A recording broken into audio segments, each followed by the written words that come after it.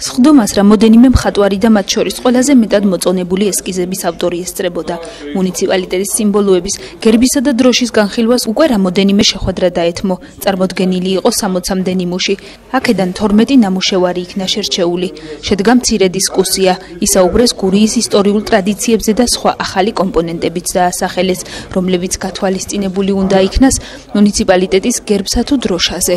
ვინაიდან საბოლოო დასკვნამდე ისე ვერ მივიდნენ, გადაწყდა რომ 20 ივლისს ხელახლა გამართება მომდევნო შეხვედრა, რომელზეც გერბის ავტორები უკვე სხდომაზე გადაწყვეტილ შენიშვნებით გათვალისწინებულ ახალ ნამუშევრებს წარმოადგენენ და იმეც გამოთქვამენ, რომ საბოლოო გადაწყვეტილებასაც მიიღებენ. ჯერ კიდევ არ შეჯერებულა კომისია ამ გერბის დამტკიცების საკითხზე და მიმდინარეობს კიდევ მუშაობა რამოდენიმე ნამუშევრები იყო გამოყოფილი, მაგრამ ეს ნამუშევრები ზე კიდევ მიდის კამათი და შეჯერება და სამუშაო ჯგუფი ფიქრობს ალბათ რომ კიდევ ახალი ვერსიით მხატვრებმა 20-ისათვის წარმოადგენონ ახალი ნამუშევრები. მაინც ვერ მივედით საბოლოო დასკვნამდე, გადაწყდა ესე რომ 20 ივლისისთვის ჩატარდება ისე მომდევნო სხდომა, რომლისთვისაც წარმოადგენენ უკვე ჩვენს მიერ სხდომაზე გადაწყვეტილი რაღაც შენიშვნების გათვალისწინებით, გათვალისწინებით ახალ ნამუშევრებს და იმედია უკვე